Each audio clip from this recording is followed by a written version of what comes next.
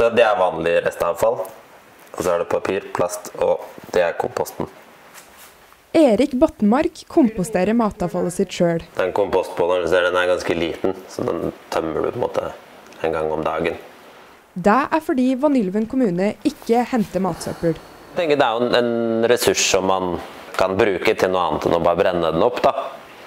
Eh, og så er det jo på en måte hele tiden et problem. Altså, vi produserer altfor mye søppel.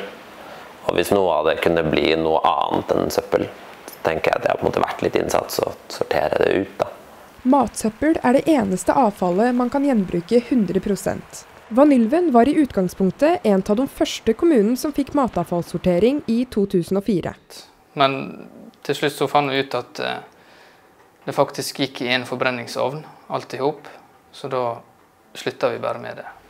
Jeg syns jo det er litt sånn bakstrebersk, da. Jeg tenker at når det er jeg vet ikke hva det er, 80-90% av landets kommuner som klarer å få det til, så kan jeg ikke komme på noen gode argumenter for at vi ikke skal ha det her, da.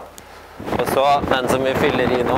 Hvis du bor i Vanylven og vil kompostere, må du håndtere matavfallet på egen hånd. Er sånn, hvis du kjenner her nå, så kjenner du altså Du ser jo at det damper opp, da. Så det er ganske varmt nedi her. Det krever på en måte en litt ekstra innsats.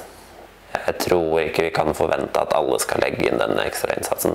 Innen 2023 må alle kommuner i Norge sortere matavfall. Vanylven har ikke planen klar helt enda. Vi skal ha det opp i kommunestyret nå i eh, høst. Og så skal de finne fra politisk hold da, finne en løsning på hvor vi skal gjøre det nå. Og da må vi innføre det på nytt igjen.